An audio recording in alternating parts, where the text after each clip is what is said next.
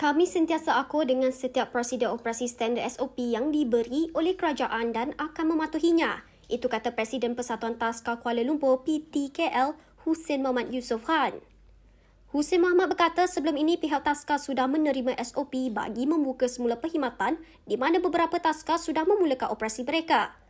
Bagaimanapun katanya pihaknya bersedia untuk mengikuti tambahan kemas kini SOP baharu selain membuat persediaan lebih awal sebelum beroperasi tidak lama lagi.